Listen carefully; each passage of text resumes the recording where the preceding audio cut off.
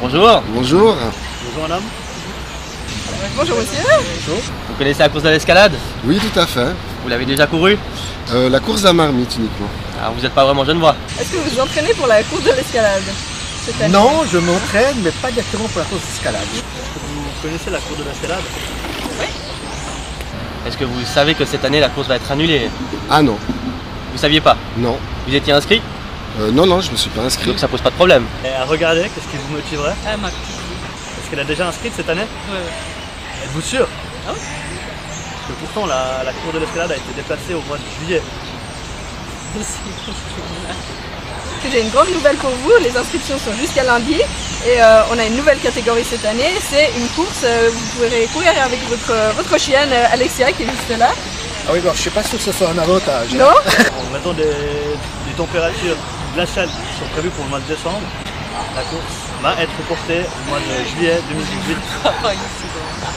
Vous ne croyez pas Bonjour monsieur, Bonjour. Bonjour. Bonjour.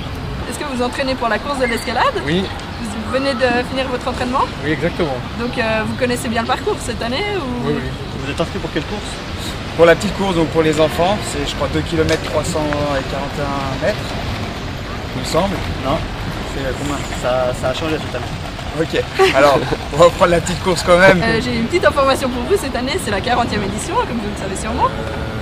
Oui, c'est juste. Oui, Je vous informe que pour les enfants, cette année, pour la 40e édition, Mhm. euh, le parcours, l'édition, ce sera 40 km. Pour les enfants? Exactement. Ok. Alors là, et du coup, euh, il y a une nouveauté qui s'est Non. insérée. Oui, alors on va... un tour de plus. Non, on change le parcours de sens. En fait, il Ah, commencera c'est là. pas possible.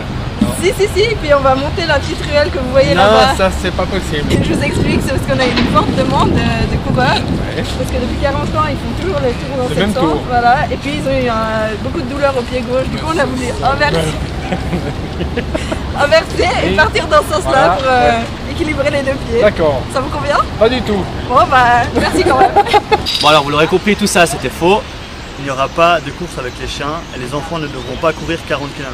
Mais la seule chose qui est vraie, c'est que le der- dernier délai pour s'inscrire, c'est le 6 novembre, ce lundi. Donc venez vous inscrire Encore une qui course inscrire.